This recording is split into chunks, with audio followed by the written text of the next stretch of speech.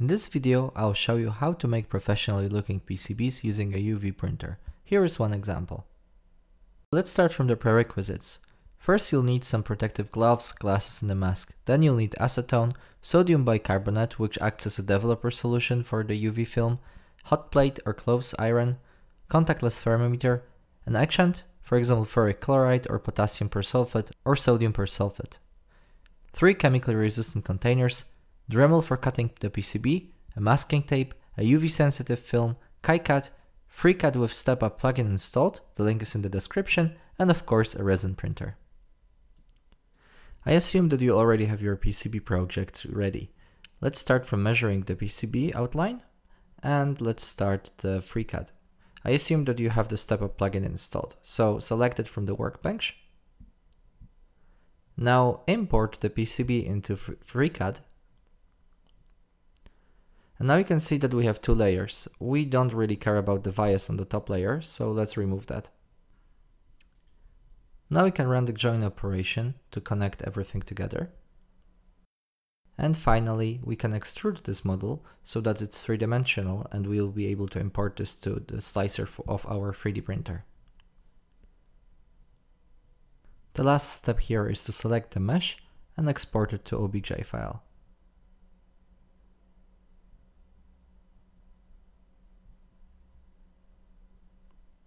Now launch our slicer program. In my case, I'm using Lychee Slicer and Mars 2 Pro resin printer.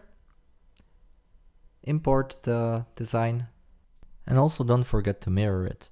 Here are the settings of the slicer. For this particular uh, UV resistive film I'm using, I'm using 60 seconds of exposure time. Once this is set, we can export it to the printer. Now, time to prepare the PCB. Mark the dimensions you measured in KiCad. Cut the PCB with a Dremel. And now we'll need acetone to clean the PCB properly. This will make the adhesion of the UV resistive film better and help etching faster. Finally, load the sliced file to the printer and mark roughly the outline of the PCB using a masking tape. This will help align everything perfectly. Now we'll be applying the UV resistive film. Make sure that the room is dark and there is no UV radiation because we don't want the film exposed and cut the film. Make sure that the film is cut in such a way that it's slightly larger than the PCB. Now use two pieces of tape to remove the protective layer from the film. Apply the film to the PCB with your fingers. Make sure that there are no air bubbles. Now heat a plate.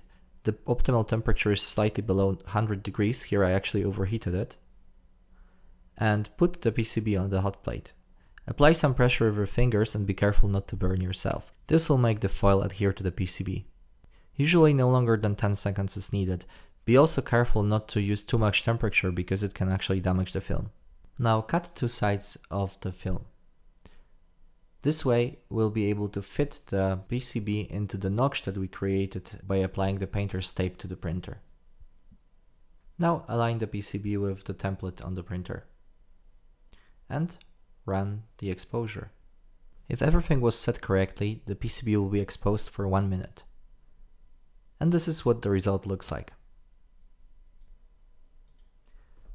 Use two stripes of tape in order to remove the protective film from the top of the PCB.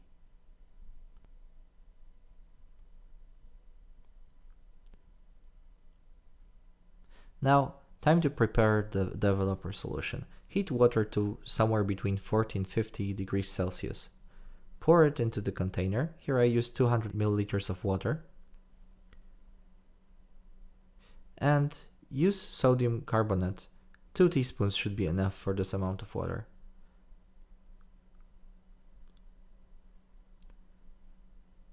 Heat up some water to roughly 50 degrees in a pot and promise me that you will not be eating from this pot uh, ever again. Now, mix everything well. And once the sodium bicarbonate is dissolved, you can put your PCB into the solution. Here I'm wearing gloves. This is not really a dangerous chemical, however the paint itself can be not too healthy, so it's better safe than sorry. You can use a small brush in order to speed up the process. Once it's done, it should look somewhat like this. Now, if there are any damages on the surface of the film, you can correct them with a permanent marker. Now let's prepare the etching solution. Here I use 1 part of ammonium persulfate per 5 parts of water. Mix everything well and again the working temperature is roughly 50 degrees. Shake it well until the copper is fully etched. Once the process is finished, the PCB should look somewhat like this. You can see that the copper is actually fully etched, but there is still the protective film remaining. We are going to remove this protective film using acetone. Pour in some acetone into some container. Make sure that this container is resistant to acetone because some plastics can be actually dissolved by that. Shake it well until the film is fully stripped. After a while, it will look like this. Congratulations, your PCB is finished. In my opinion, the greatest benefit of this method is that it can be used not only for etching PCBs, but also for some really cool panels. For example, I made this panel using the same method, but instead of the etching solution, I used a blackening solution for brass. You can also use it for galvanic chemistry and many other processes. The only limit is your imagination.